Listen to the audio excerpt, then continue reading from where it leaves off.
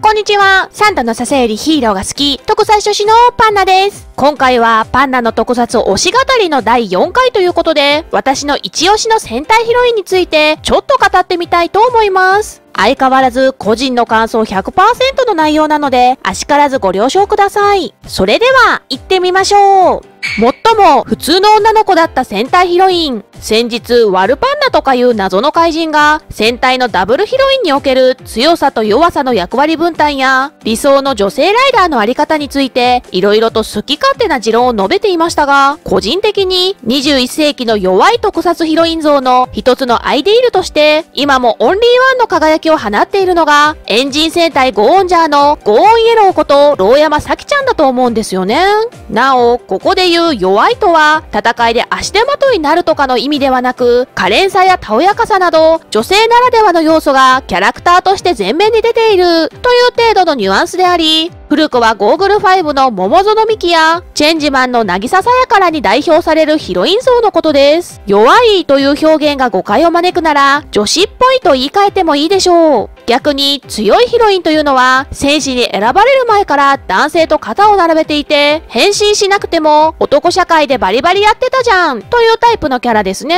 さて、さきちゃんの魅力といえば、なんといってもビジュアルの可愛らしさと、ことあるごとに、スマイルスマイルを連呼する、抜群に明るいキャラクター性、その可憐ないでたちから繰り出される、特撮ヒロインの王道たるミニスカアクション、などなどだと思いますが、そうした多くの人が挙げる美点以上に、私が当時思ったのは、戦隊ヒロインがここまで普通の女の子でいいんだ、という新鮮な驚きだったんですよね。まあ、普通といっても、ゴーンジャーという作品自体キャラクター設定がかなり二次元寄りというか、記号的な造形がなされているので、その一員たるさきちゃんも、多分に非現実的な性格設定のキャラではあるんですが、それでも、その記号的キャラ付けが女子全振りであることに変わりはありません。おそらく、中盤からゴーンシルバー、ストーミユという記号的造形のゴンゲみたいなアクティブお嬢様が出てくることが決まっていたので、彼女とのバランスを取るために、さきちゃんは徹底して庶民派の等身大女子、要は、普通に街にいそうな女の子としてのキャラ付けに振り切ったのだと思いますが、その結果、彼女は特撮史上稀に見る、その時代における普通の女子の感性を前面に出した変身ヒロインとなっており、それこそが私の思うさきちゃんのオンリーワンの魅力なんですよ。いや、現実にはいないけどね。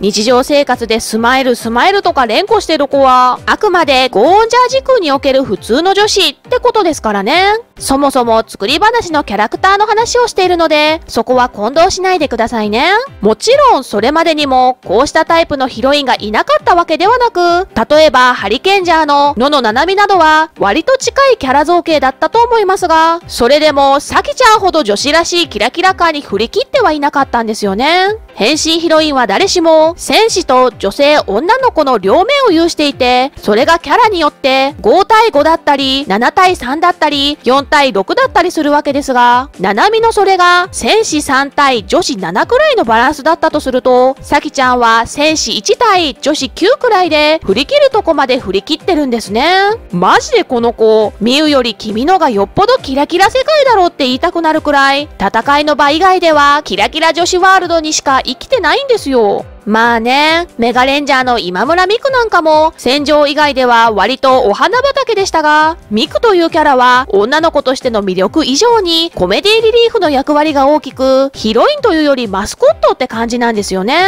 実際ヒロインとしては千里の方が好きだったという方が多いでしょう。また意外なところではカーレンジャーの八神陽子とかも平時はごく普通の女子として描写されていましたが、これは彼女が特別なのではなくてカーレンジ時空の住人全員がそんな感じですからね。タキちゃんはゴーン時空という特殊な場の中でなお一人だけ普通の女子なんです。今までそういう視点で彼女を見てなかった人はぜひ本編を見直してほしいですね。第一、変身後の名乗りフレーズからして、スマイル満開ですからね。普通そこは、麗しの白虎とか、水が舞い、波が踊るとか、戦士としての性質やモチーフを名乗るところなんですが、この子は変身前の自分のキャラクター性を名乗り文句にしてるんですよ。スマイル満開って、それは戦いの場に何か関係があるのか？まあ、ズバリ正解だの、ドキドキ愉快だのもよっぽどですが、改めて考えると敵の前で何を名乗ってるんでしょうね、こいつら。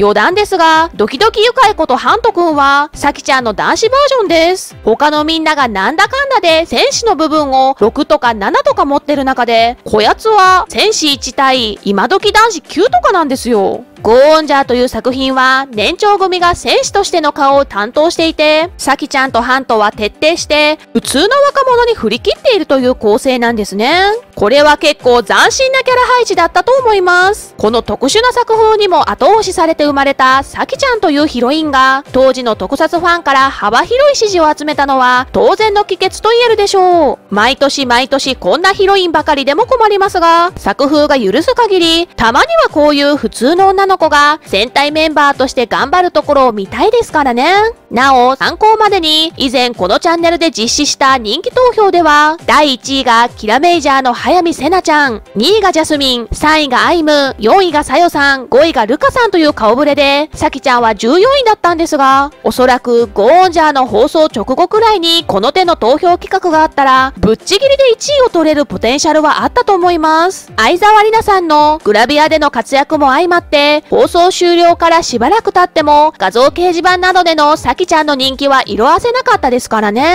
ところで、今名前が出た、キラメイグリーンのセナちゃんですですが、この子はある意味、ゴーオンジャーから12年の時を経て生み出された、さきちゃんの進化系というか、ハイブリッドバージョンと言える部分があります。キラメイジャーのメンバーは、ジュール以外はみんな、各々の分野で活躍するスーパースターで、セナちゃんも陸上界でその名を知られたスター選手なんですよね。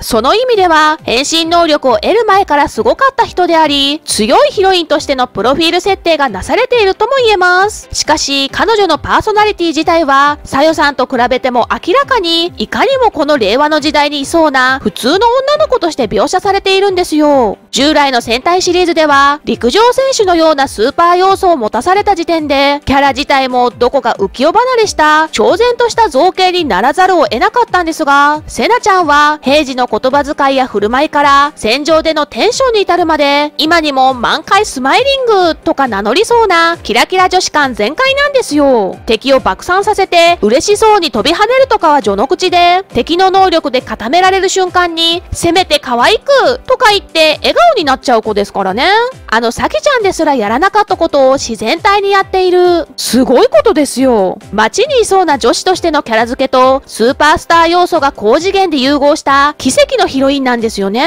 私としては、このセナちゃんこそ、サキちゃんの令和版発展型として認定します。彼女こそ、桃園美希や立花玲の時代から絶えず試みられてきた、一人で強さと弱さを合わせ持った戦隊ヒロインの一つの完成形じゃないでしょうか。しかも、彼女の場合は、ダブルヒロインのさよさんと互いを引き立て合うことで、高一点のヒロイン以上に、自由なキャラの掘り下げまで可能になってますからね。人気投票1位も頷けますよ。なんか、さきちゃんの話をしていたはずが、最後はセナちゃん上げになっちゃいましたが、そんなわけで、今回はパンナの特撮推し語りとして、引き続き私の語りたいことを好きなように語ってみました。今回の動画も好評であれば、今後もこうしたノリをたまに出していこうと思いますので、語ってほしいテーマのリクエストなどあれば、ぜひコメント欄で教えてくださいね。